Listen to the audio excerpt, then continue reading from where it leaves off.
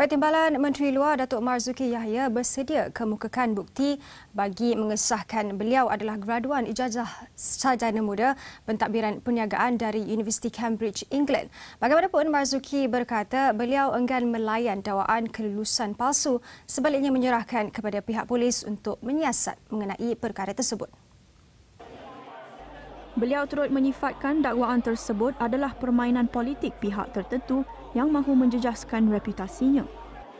So bagi saya yang ini adalah satu daripada permainan politik lah ya. Dan saya beranggapan bahawa bila dah dibuat laporan polis, kita serahlah perkara ini kepada polis. So saya pun I don't feel to comment much about this. So kita serah kepada polis.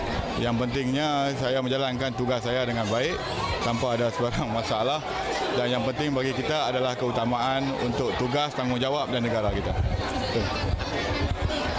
Iya, insya-Allah yang tu, tapi bukan dia saya nak mereport kepada dia. Ya. Ya, nanti kita akan buktikan. Tak ada masalah. So dia serah kepada polis, kita lihat polis siasat. Okey? Menurutnya, perkara sedemikian adalah biasa dalam dunia politik selain sudah lali ditomah dengan pelbagai tuduhan tidak berasas.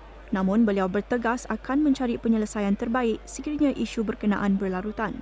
Tambah Marzuki, buat masa ini beliau mahu menumpukan perhatian kepada tugasnya sebagai Timbalan Menteri Luar dan Gerak Kerja Parti menjelang pilihan raya kecil PRK Dun Semenyih.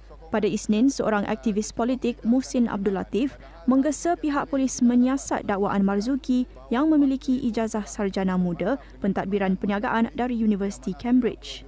Ia susulan pendedahan seorang warganet dikenali sebagai Zulfahan Pagon menerusi akaun Facebooknya yang mendakwa tidak wujud program PJJ dari Universiti Cambridge yang diikuti Marzuki.